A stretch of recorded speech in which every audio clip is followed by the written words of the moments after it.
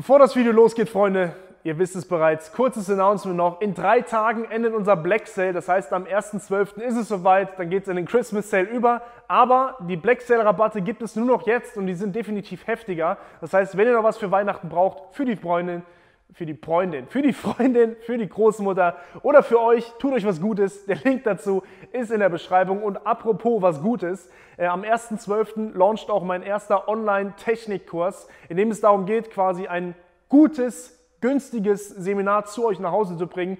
Technik, Fehleranalyse, wie ihr bei euch Fehler erkennt, wie ihr bei euch Fehler raustrainieren könnt, welche Übungen dafür relevant sind, wie ihr euch filmen müsst, das komplette Paket.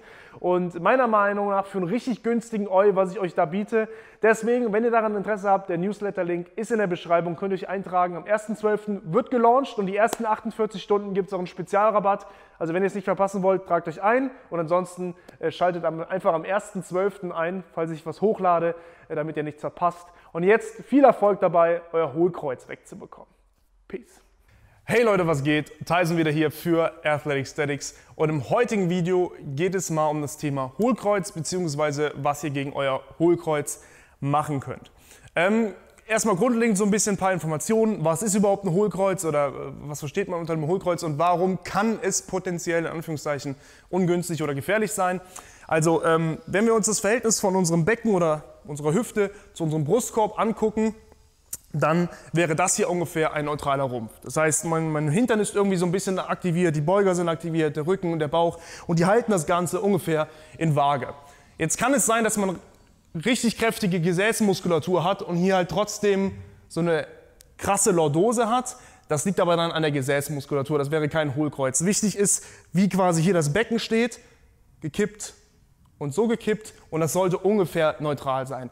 Es ist eine Range ungefähr neutraler Rumpf, also es gibt jetzt nicht den Punkt, oh das ist jetzt perfekt neutral, sondern was ihr haben solltet, wäre eine leichte Lordose in der Lendenwirbelsäule und eine leichte Kyphose quasi in der Brustwirbelsäule. Das heißt hier oben eine Wölbung nach außen und hier unten eine Wölbung nach innen. So, Becken strebt neutral zum Rumpf. Das ist ein neutraler Rumpf. Ein Hohlkreuz oder eine Hyperlordose, also quasi eine Über Beugung hier in der Lendenwirbelsäule wäre folgendes. Alles, was abseits von dieser, dieser neutralen Position ist, nach vorne gekippt. Also das Becken kippt sich quasi hier nach vorne. Der Rumpf, also der Bauch öffnet sich. Der Rücken streckt sich zusammen, also zieht zusammen. Der Hintern lockert sich und die Beuger ziehen sich zusammen. Das hier wäre eine extreme Hyperlordose. Das Problem ist jetzt, oder das potenzielle Problem ist jetzt, wenn wir das Ganze beladen mit einer Kniebeuge oder irgendwas hochheben oder den ganzen Tag so sitzen, uns bewegen und, und, und. Erstens, mit der Zeit wird die Muskulatur hier, also die Rückenstrecker, werden immer fester und übernehmen immer mehr die Stabilität. Das allein schon kann ein Druckgefühl verursachen, kann eventuell dazu sorgen, dass ihr nachher irgendwie leichten Rücken, leichte Rückenschmerzen haben, weil irgendwie Nerven ein bisschen angedrückt werden oder ähnliches. Das ist ja halbwegs noch okay, das kann man ein bisschen aufdehnen und und und. Das Problem ist, sobald Belastung raufkommt, ist aber auch die Integrität unserer Wirbelsäule gefährdet. Das heißt, normalerweise, wenn wir in einem neutralen Rumpf stehen, sind die Wirbel ja ungefähr übereinander, so wie die quasi gedacht sind, können gut federn, gleichmäßig federn, die Belastung wird verteilt. Sobald wir jetzt aber in eine Hyperlordose kippen oder das was vielen bekannt ist, was ungünstig ist, ist dieser klassische Rundrücken, ist aber im Prinzip das gleiche, nur in die andere Richtung. Dann, unsere Wirbelsäule ist zwar nicht so, aber ich sage jetzt mal so, wenn die normalerweise gestackt wäre übereinander und wir kippen das Ganze in eine Hyperlordose, haben wir auf der einen Seite mehr Belastung und auf der anderen Seite weniger Belastung. Die Bandscheiben werden in eine Richtung rausgedrückt. Genauso wie beim Rundrücken, wie ihr das kennt. Wenn wir rund sind, werden die Bandscheiben bei Belastung in die andere Richtung rausgedrückt. Das heißt, wir haben ungleichmäßige Belastung auf den Wirbeln und den Bandscheiben und das kann, muss nicht, zu Problemen führen. Bandscheibenvorfall, wenn so ein Ding mal platzt, drückt raus und dann habt ihr den Salat, Bandscheibenvorfall und dann ist es so. Das heißt, worauf wir achten sollten generell, unabhängig vom Kraftsport, dass wir einen neutralen Rumpf haben dass quasi Becken und Brustkorb neutral zueinander sind, die Wirbelsäule vernünftig Belastung abfangen kann. Und das stellen wir sicher mit einer vernünftigen Rumpfspannung, mit einer vernünftigen Gesäßspannung und dass unsere Muskulatur, Muskulatur vernünftig arbeitet. So grob schon mal zum Überblick. Bei einem Hohlkreuz, was passiert jetzt da? Das können wir uns ganz leicht so vorstellen, wenn, wir, wenn das hier neutral ist und ich bin in einem, Hohl, in einem Hohlkreuz, das heißt mein Becken kippt nach vorne, was ist passiert? Achtet auf den Rumpf, vielleicht so rum. Bauch. Was macht der Bauch, wenn ich an einem Hohlkreuz bin? er gibt Spannung ab. Das heißt, hier ist nicht angespannt. Wenn ich meinen Bauch anspanne, zieht das mein Becken automatisch in eine neutrale Position, beziehungsweise wenn ich zu sehr anspanne, in eine Kyphose, also quasi in einen Rundrücken. Das heißt, der Bauch hält irgendwie das Becken in einer wichtigen Position, wenn ich ein Hohlkreuz habe. Was passiert noch? Hier, Hüftbeugung. Das heißt, dadurch, das ist auch der Grund, warum wir meistens ein Hohlkreuz haben, dadurch, dass wir viel sitzen den ganzen Tag, ja, am, am Schreibtisch, im Auto, was weiß ich was, auf der Couch abends noch, die Hüftbeuger sind meistens chronisch in Anführungszeichen verkürzt oder haben halt einfach mehr Spannung als die andere Muskulatur. Das heißt, sie ziehen uns in eine Hüftbeugung und halten uns in einem Hohlkreuz. Das heißt, hier ist zu viel Spannung und hier halten wir schon mal fest, ist zu wenig Spannung. Weil wenn ich hier Spannung draufbringe, bin ich neutral. Wenn ich hier Spannung wegnehme und hier Spannung drauf bringe, bin ich in einem Hohlkreuz. Gucken wir uns die Rückseite an. Was passiert? Neutrales, warte, machen wir wieder so, dass die Sonne drauf scheint. Hohlkreuz. Rückenstrecker oder Quadratus lumborum, quasi unsere Rückenmuskulatur, viel Spannung. Und der Hintern, wenn ich den Hintern anspannen würde, würde der mich hier hinbringen, quasi die Hüfte aufrichten. Das heißt, auf dem Hintern ist keine Spannung. So, halten wir fest. Wir sind in einem Hohlkreuz. Wir haben keine Spannung im Rumpf. Wir haben keine Spannung im Hintern oder zu wenig. Wir haben viel Spannung in den Hüftbeugern und wir haben viel Spannung auf dem Rückenstrecker. Das heißt, was machen wir als allererstes? Ähm, wir werden erstmal dafür sorgen, dass wir was Spannung aus den Hüftbeugern rausbekommen. Dazu gibt es eine ganz einfache Übung, die könnt ihr pauschal schon mal machen.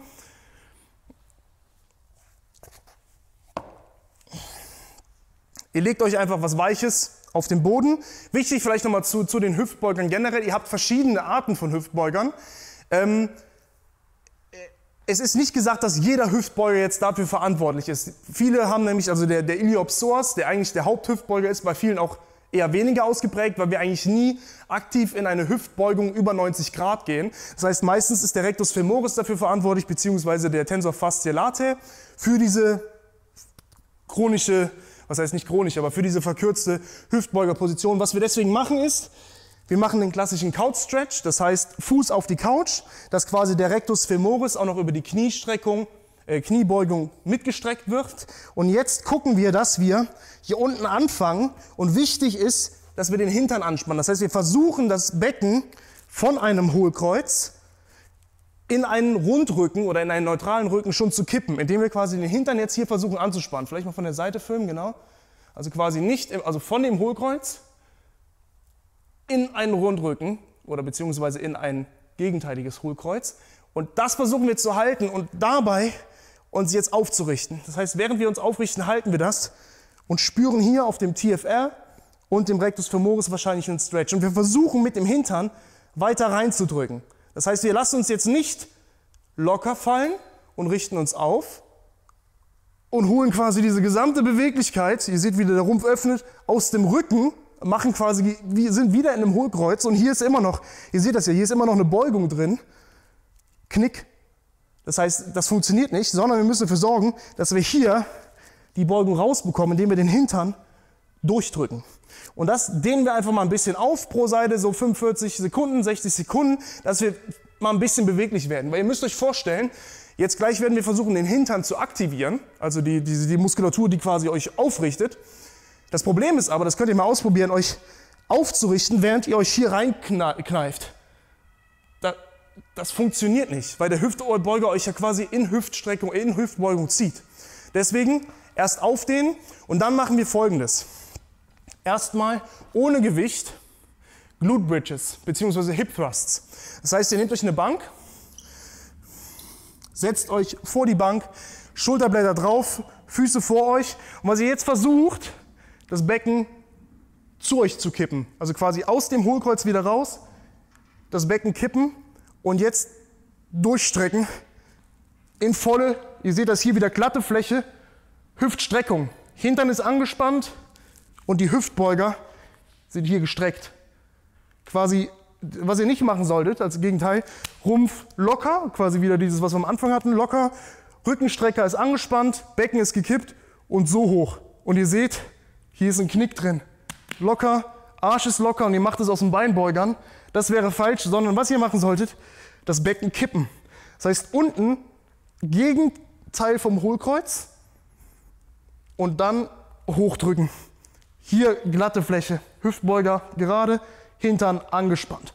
Und davon macht ihr einfach zwei, drei Sätze, A15 Wiederholungen, dass der Hintern ein bisschen was abbekommt. Und die Übung könnt ihr zum Beispiel auch auf dem Kanal mal googeln, äh, auf dem Kanal googeln, auf dem Kanal suchen. Hip Thrusts könnt ihr Step by Step später auch mit Gewicht beleben, äh, bewegen, belegen, damit ihr Step by Step den Hintern immer weiter reinbekommt. Also erste Übung, Hüftbeuger auf den, dass ihr einfach ein bisschen Beweglichkeit äh, hier reinbekommt und dann den Hintern aktivieren und reinbekommen. Und das andere Thema wäre allgemein einfach, guckt, dass ihr Integrität in den Rumpf reinbekommt. Das heißt, die Bauchmuskeln entsprechend auch kräftigt. Ich denke, es gibt genug Tutorials auf YouTube zum Thema Sixpack-Training. Ähm ich, ich werde euch eine meiner Lieblingsübungen zeigen. Das Problem an der Sache ist aber, die könnte eventuell auch die Hüftbeuger kräftigen. Ich zeige sie euch trotzdem. Ähm und zwar sind das Planks. Ja? Ähm, beim Plank ist darauf zu achten, genau für das Problem jetzt hier eigentlich, ein bisschen blöd, dass ihr nicht zu viel über die Hüftbeuger macht, sondern primär wirklich über den Rumpf arbeitet. Deswegen möchte ich euch vorher darauf, daran erinnern, dass ihr einfach mal guckt, dass ihr wirklich hier ein bisschen Kontrolle in den Rumpf reinbekommt, von der Ansteuerung her, was ist jetzt Rumpf, was ist Hüftbeuger. Und bevor ihr in den Plank geht, das so ein bisschen macht. Und dann geht ihr hin, quasi in den Stütz. Und auch hier konzentriert euch darauf, dass ihr euch nicht so irgendwie rausdrückt, sondern relativ neutral bleibt das den Arsch aber anspannt, also quasi jetzt nicht so in eurem Hohlkreuz hier hängt, dass der Rumpf locker ist, sondern den Rumpf wirklich anspannen, wirklich hier euch auf euch, äh, euch hierauf konzentrieren, Hintern anspannen und halten, halten. So. Und das macht ihr einfach erstmal so lange ihr es könnt, 45 Sekunden, 60 Sekunden. Und ich zittere gerade, weil ich mich wirklich exzessiv darauf konzentriere, dass ich nicht einfach hier so hänge, mit der Muskulatur, die stark ist, ich zitter gerade nicht, sondern ich spanne den Arsch an, ich spanne den Bauch an und maximal versuche ich dagegen zu halten. So, der Plank hat sicherlich vielleicht auch ein paar Nachteile, vor allem wenn man nicht weiß, was man mit der Schulter machen soll, aber um einen neutralen Rumpf zu haben, vor allem bei Grundübungen, finde ich es ziemlich geil, weil es ist genau dieses Ding, wir sind nämlich nicht bei der Kniebeuge andauernd am Crunchen, sondern wir stehen aufrecht und versuchen hier Integrität zu halten. Und wenn ihr das gemacht habt, Hüftbeuger ein bisschen aufgedehnt, den Hintern aktiviert, den Rumpf aktiviert. Dann ist das Wichtige, wenn ihr Kraftsport macht, dass ihr das Ganze eben auch im Training umsetzt. Das heißt, bei der Kniebeuge, beim Kreuzheben und was dafür ganz, ganz geil ist, ist der Goblet Squat. Da macht ihr nämlich genau das. Ihr stellt euch hin, holt euch eine kleine Kettlebell oder so, eine Hantel und was ihr als erstes macht, ist Rumpfintegrität, Bauch anspannen, den reinbekommen. Und was ihr dann macht, ist beckenneutral zack. Und konzentriert euch darauf, dass ihr das während der Beuge beim Goblet Squat haltet, dass ihr nicht locker lasst, sondern dass ihr diese Spannung die ganze Zeit haltet und dass hier aus dem Hintern pff, die Hüftstreckung rauskommt. Und das ist wichtig, dass ihr das erstens einfach wisst, was da passiert, warum das Hohlkreuz abkippt oder das Becken abkippt und ihr in einem Hohlkreuz dasteht, dass ihr die fehlende Muskulatur aufarbeitet, also Rumpf, Hintern und Hüftbeuger was aufdehnen und dass ihr es dann aber auch im Training nutzt, dass ihr nicht im Training wieder dasteht, Beuge, ah, Beuge, ah, weil das hier ist genau das, was dann das Hohlkreuz auch noch verstärkt, wenn es im Training noch mit Gewicht beladet. Deswegen bitte nicht Beuge, sondern Rumpf, Bam, Hintern angespannt, da. Habt ihr den Unterschied gesehen? Angespannt, Hintern angespannt. Wir gehen runter, Rumpf bleibt, Rumpf bleibt, Rumpf bleibt, aus dem Arsch. Das andere wäre, ah, schön reinsetzen. Und ah, will ich nicht hören. Also, ist vielleicht ein bisschen länger geworden, ähm, sind aber auch zwei, drei, vier Punkte, die da mit reinfließen. Wenn ihr ein Hohlkreuz habt, achtet einfach darauf, den Rumpf, den Bauch aufzutrainieren, den Hintern aufzutrainieren, generell auf eine neutrale Hüfte zu achten, weil wenn ihr nicht darauf achtet, werdet ihr die nicht reinbekommen und die Hüftbeuger nur am Anfang, dass der Hintern ein bisschen reinkommt, auf den. Normalerweise nach einer gewissen Zeit, wenn man da öfters auch in diese Bewegung reingeht, da, da, ist das gar kein Problem mehr. Und dann wirklich im Training das Ganze einfach umsetzen. Ich hoffe, ihr konntet was mitnehmen. Wenn ihr noch Fragen habt bei dem Thema, sicherlich klar, dann schreibt sie einfach in die Kommentare. Wenn ihr mehr von solchen Videos sehen wollt, abonniert den Kanal. Und ansonsten sehen wir uns im nächsten Video. Bis dahin, macht's gut. Peace.